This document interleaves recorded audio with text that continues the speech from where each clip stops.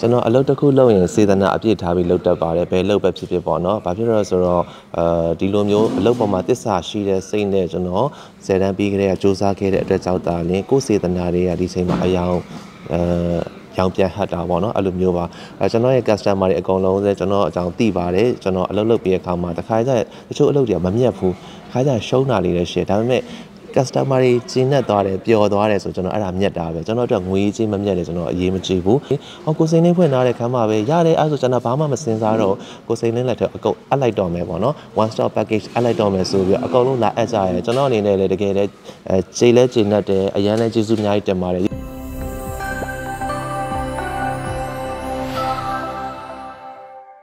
အဲဒီနေ့တဝန်တန်းမင်္ဂလာခမ်းမလေးမှာကျွန်တော်တို့ခမ်းမကိုလာအနှံထားစုံတွဲတွေအတွက်အခမ်းအနားမှုဖြစ်လဲကျွန်တော်ကဆောင်ရွက်ပေးရမယ်ပြီးတဲ့ခါကျလို့ရှိရင်အဲ one stop wedding package လေးကိုဆောင်ကျင်းတာဖြစ်တဲ့အတွက်ကြောင့်မို့လို့အဲကျွန်တော်တို့ရဲ့ with some makeup လက်ဝဲလက်စားဘန်းလာစင်စသဖြင့်တပွဲလုံးပေါ့နော်အားလုံးတနေရာတဲ့အပီစီ service လေးကိုဆောင်ရွက်ပေးရတာပါအဲပြီးတော့တချင်းလေးလဲကျွန်တော်ဒီရက်ပိုင်းလေးထွက်ထားတာရှိပါတယ်အဲ့ချင်းလေးက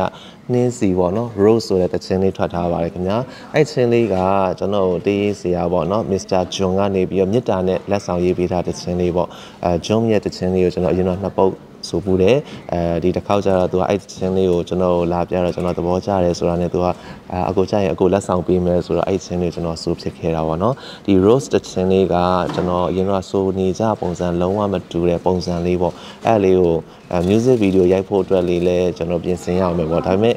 စိတ်ကူးထားတော့ကိုလက်ရှိအနေထားအသက်အရွယ်နဲ့တော့ music video မှာတရုပ်မဆောင်ရဘူးပေါ့နော်အဲ့တော့လူငယ်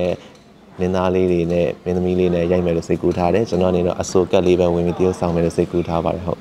အဲဒီသချင်းလေးရပါတော့ချစ်စရာကောင်းတဲ့သချင်းလေးပေါ့ကိုချစ်ရတဲ့ကောင်းမလေးကိုအာနှင်းစီပန်းလေးနဲ့တင်စားထားတယ်ပြီးလို့ရှိရင်ဒီဘက်ကလူငယ်တွေကလည်းအမြဲတမ်းပေါ့နော်ဟို night out ထွက်တတ်တဲ့အကျင့်ရှိရပေါ့အကိုကောင်းမလေးကိုတဲ့မနာအဲကိုကပြောတဲ့ခါကျတော့ရှင် Saturday Sunday ရောအားလာပေါ့နော်တွေ့ကျင်သေးရပေါ့အဲ့လိုပုံစံမျိုးလေးဆိုတော့အဲလူငယ်တွေကြားထဲမှာလည်းလက်ရှိဖြစ်ပေါ်နေတဲ့အခြေအနေလိုမျိုးတည်ပြီးတော့ ဒီဆရာမစ္စတာဂျွန်ကနေပြီးတော့ဂျွန်ဖအန်နေရေးပေးထားတာဖြစ်ပါတယ်ခင်ဗျာဟုတ်ကျွန်တော်အလုပ်တစ်ခုလုပ်ရင်စေတနာအပြည့်ထားပြီးလုပ်တတ်ပါတယ်ဘယ်လုပ်ပဲဖြစ်ဖြစ်ပေါ့နော်ဘာဖြစ်လို့လဲဆိုတော့အဲဒီလိုမျိုးအလုပ်ပေါ်မှာတစ္ဆာရှိတဲ့စိတ်နဲ့ကျွန်တော်ဇယ်တန်းပြီးကြတဲ့စူးစမ်းခဲ့တဲ့အတွက်ကြောင့်ဒါလင်းကိုယ်စေတနာတွေကဒီချိန်မှာအယောင်အဲရောင်ပြန်ဟတ်တာပေါ့နော်အဲ့လိုမျိုးပါအဲကျွန်တော်ရဲ့ customer တွေအကုန်လုံးလည်းကျွန်တော်အကြောင်းသိပါတယ်ကျွန်တော်အလုပ်လုပ်ပြီးတဲ့အခါမှာတခါကျတချို့အလုပ်တွေကမမြတ်ဘူးခါကျရှုံးတာလေးလည်းရှိတယ်ဒါပေမဲ့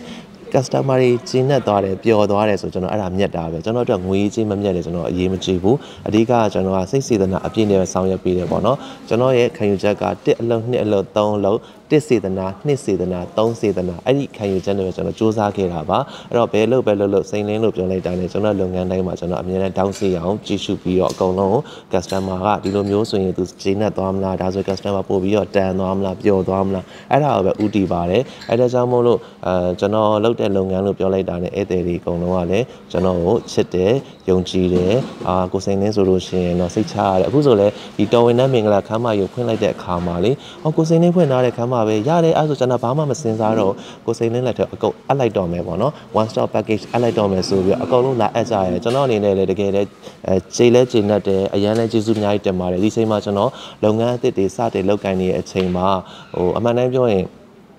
ကိုကိုပေါ့နော်လူတွေကအာ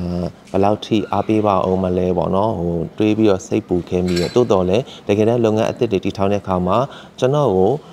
ရင်ထဲမှာတကယ်ချစ်ပေးကြတဲ့တန်ဖိုးထားပေးကြတဲ့ဒါအမှုပညာမောင်နှမတွေရောပြီးတော့စီးပွားရေးလုပ်ဖို့ကံပတ်တွေရောကျွန်တော်တို့ရဲ့ commission customer တွေရောပရိသတ်တွေအကောင်လုံးကဒီအချိန်မှာကျွန်တော်ဘေးနားမှာအကောင်လောက်ဝင်းရံပေးပြီးတော့ကျွန်တော်အတွက်ဆိုပြီး customer ခေါ်လာပေးကြတဲ့အမျိုးစုံပေါ့နော်အဲ့တော့ကြောင့်မို့လို့လည်းမီဒီယာနေတစ်စင်အားလုံးကျေးဇူးများတင်ပါတယ်လို့ပြောချင်ပါတယ်ခင်ဗျငငယ်တော့ကလေတလားမင်းသားဖြစ်ချင်ခဲ့တာအဲ့တော့ကြီးလာတဲ့ခါကျတော့လေဝါသနာပါသေးတယ်ဒါပေမဲ့လည်းစီးပွားရေးလုပ်ငန်းတွေကိုရောက်ဖြစ်သွားတဲ့ခါကျတော့ အဲကျွန်တော်တို့လုပ်ငန်းတွေက service လုပ်ငန်းတွေလုပ်ခဲ့တဲ့အခါကျတော့အရန်အချိန်တွေရှားပါတယ်ပြင်ပန်းနေအဲ့တော့တရုပ်ဆောင်လုပ်မယ်ဆိုလို့ရှိရင်အချိန်တွေအကုန်လုံးကဒါအနုပညာတွေမှာညှို့ညှို့နှံရတဲ့အခါကျတော့မဖြစ်နိုင်ဘူးကိုကဒီဘက်မှာလှုပ်လက်စားစီးပွားရေးရလဲလက်လွတ်လို့မရတဲ့အခါကျတော့ကိုငငယ်လေးကဝါသနာပါခဲ့တဲ့အနုပညာတစ်ခုခုလုပ်ချင်တယ်ဆိုတဲ့အခါကျကျွန်တော်အာတချင်းဆိုမယ်ဆိုပြီးဂီတလောကတဲ့ကို2005ခုနှစ်ကနေပြီးဝင်ရောက်လာခဲ့တာပေါ့နော်အဲ့ဒါကြောင့်မို့လို့အဲ့တော့အနုပညာပိုးတွေကတော့ရှိပါတယ်ဟို တချင်းတွေထဲမှာတော့ကိုလည်းတရုပ်ဆောင်တတ်တဲ့ဟာမျိုးလေးရှင်ဝင်ပြီးတော့တရုပ်ဆောင်ဖြစ်တယ်အဲခုနလိုပေါ့အခုထွက်ပြီးတော့ရိုက်မဲ့ music video rose ဆိုရင်တော့ကျွန်တော်တရုပ်မဆောင်ရဲတာတော့သိကြတယ်ပေါ့နော်အဲကျွန်တော်အားရခဲ့တဲ့ကျွန်တော်ထွက်ခဲ့တဲ့ချင်းတော့အရန်ကျင်တတ်ခဲ့တဲ့ချင်းဆိုလို့ရှိရင်တော့အမ်ဝေးရေးပေးထားတဲ့ငါဆိုတဲ့ချင်းလေးအရန်ကြိုက်ပါတယ်အဲ့ထဲမှာချူးလေးရဲ့ကျွန်တော်ရဲ့ ကိုဖုံးရှန်ရဲ့ပေါ့နော်တရုပ်ဆောင်တာအဲ့တော့ဆိုကျွန်တော်တကယ်မျက်ရည်အစ်စ်နဲ့ရအောင်ငိုပြီးတော့ရိုက်ခဲ့တာပေါ့ဘာဖြစ်လို့ဆိုတော့အဲ့တချင်းကိုရိုက်မယ်ဆိုတဲ့အခါတုန်းကကျွန်တော်မှာอืมစိန်ခေါ်မှုတစ်ခုရှိရပေါ့နော်ပထမဒီတချင်းလေးကိုမရိုက်ခင်ကျွန်တော်အာဒရိုက်တာတယောက်နဲ့စကားပြောဖြစ်တယ်အဲ့တုန်းကဆိုလို့ရှိရင်အာကျွန်တော်ကဒီတချင်းလေးထဲမှာကျွန်တော်ဝင်ပြီးတရုပ်ဆောင်မယ်ပြောတဲ့အချိန်မှာအဲ့ director အဲ့လိုမဟုတ်ဘူးသူကတခြားမင်းသားတစ်ယောက်နဲ့ပဲရိုက်မယ်ဆိုတော့ဟုတ်ဘူးကျွန်တော် လုပ်ကြည့်ချင်တယ်ဆိုတဲ့အချိန်မှာမဟုတ်ဘူးအာသူကတော့ဒီမင်းသားနဲ့ပဲရိုက်မယ်ဆိုတော့ဒီမင်းသားကိုကျွန်တော်ခင်တယ်တိုးတော်လဲသဘောတရားကိုကကိုတချင်းကိုကိုအရန်မျောလင့်ထားတယ်ဒီနေရာလေးကိုဒီလိုလေးလုပ်မယ်ဆိုရယ်စိတ်ကူးလေးရှိနေတဲ့အချိန်မှာအဲ့ဒီ director ကနေပြီးတော့ကျွန်တော်ကနေပြီးတော့ကိုကိုတိုင်ဝင်တရုပ်ဆောင်မယ်ဆိုတော့၃ခါလောက်ပြောတာလည်းမဟုတ်ဘူးသူကအဲ့ဒီမင်းသားတရုပ်ဆောင်နဲ့ရိုက်မယ်ဆိုတော့အဲ့နဲ့ပဲကျွန်တော်ကရအောင်ရိုက်ပြမယ်ဆိုပြီးတော့ကျွန်တော်ကိုယ့်ဘာသာကိုပဲ အဲစညွန်းနေဆွဲတယ်ကိုယ့်ကိုပဲအဲရိုက်ကူးလိုက်တဲ့အခါမှာဝင်ပြီးတရုပ်ဆောင်တယ်ပေါ့နော်တရုပ်ဆောင်တဲ့အခါမှာခက်ခက်ခဲခဲရိုက်ရတယ်အဲ့တော့ဆိုလို့ရှိရင်ကာဖြူတွေရှိတဲ့အချိန်မိုးတွေလည်းတကယ်အပြင်မှာရွာနေတဲ့အချိန်မှာအာတိုက်ပေါ်နေခုန်ချတဲ့အခန်းတွေရောရရတာတွေပါတယ်ပြီးတော့မျက်ရည်အစ်စ်တွေနဲ့ငိုရတာတွေရောပေါ့နော်ဟိုကိုကိုကိုပြန်ကြည့်မိတဲ့အချိန်မှာဒီတခြင်းလေးကိုအရန်နဲ့အားရတယ်ကြည်လဲကျင်တတ်ပါတယ်ဟုတ်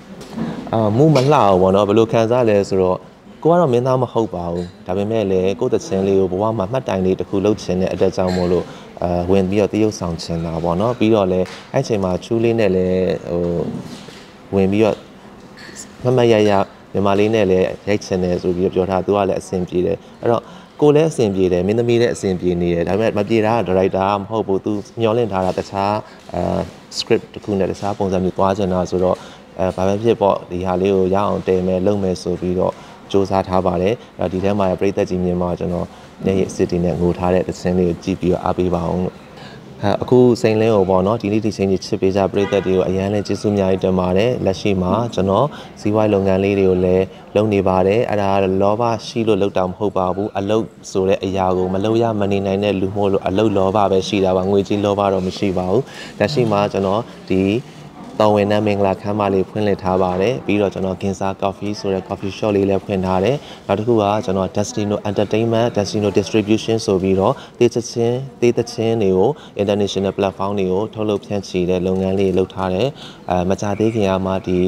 ဇန်နဝါရီ2024မှာကျွန်တော်ကိုပိုင် brand လေးဖြစ်တဲ့ Today Coffee ဆိုတဲ့အစည်းအဝေး coffee လေးကိုလည်းကျွန်တော်ထုတ်လုပ်ဖြန့်ချီနေပါပြီ ဒီလုပ်ငန်းလေးတွေအကုန်လုံးကိုဒီ2024ရက်နေ့စပြီးတော့အကောင်းဆုံးလုပ်ကိုင်တဲ့အခါမှာယုံကြည်မှုအပြည့်နဲ့အားပေးနေကြတဲ့ကျွန်တော်ရဲ့ထမင်းရှယ်တယောက်ချင်းစီတိုင်းဒီနေ့ကနေကျေးဇူးအများကြီးတင်ပါတယ်မင်္ဂလာရှိတဲ့2024တနှစ်တာကာလပတ်လုံးမှာမိသားစုတွေအားလုံးပျော်ရွှင်ကျန်းမာချမ်းသာကြပါစေလို့ကျွန်တော်ဆုမွန်ကောင်းတောင်းလိုက်ပါတယ်ခင်ဗျ